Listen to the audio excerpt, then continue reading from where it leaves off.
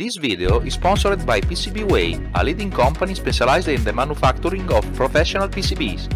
New customers that register on PCBWay site get 10 PCBs, 2 layers for free.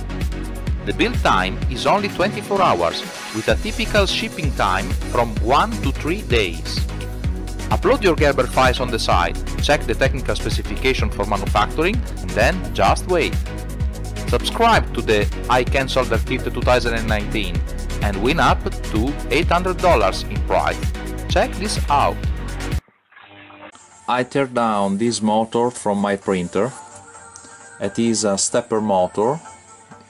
It is a DC 15 volts, 30 ohms, and with 7.5 degrees per step. I would like to know where are the coils and to build a simple control by simple switch and diodes. So basically I turn down the color of the wires and with a multimeter I check what are the resistors wire by wire. I found two coils. One is the between the brown and black with a center tap in the blue wire. The other one is between orange and yellow with the center tap in the white.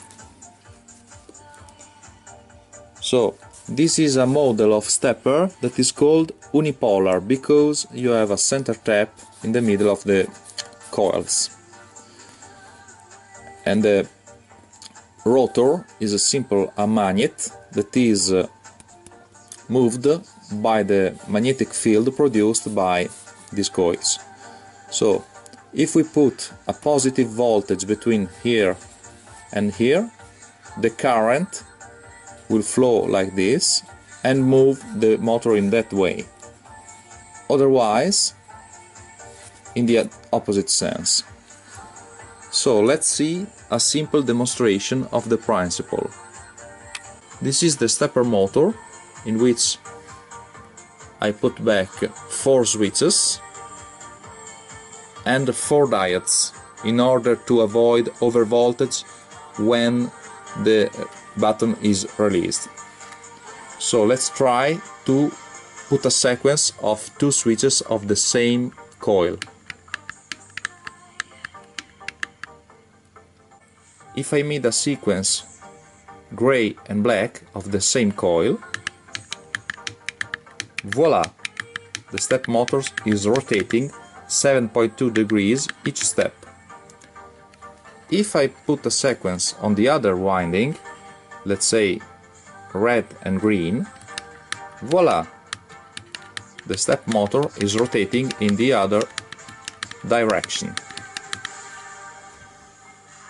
So with simple 4 switches I am able to drive this stepper motor, the unipolar type. So by substituting this manual switch with a MOSFET or bipolar, I can realize a simple control for the step motor. So this video show how it's simple to reverse engineer the coils by simple measure the ohmic value between wire to wire and found the electric diagram.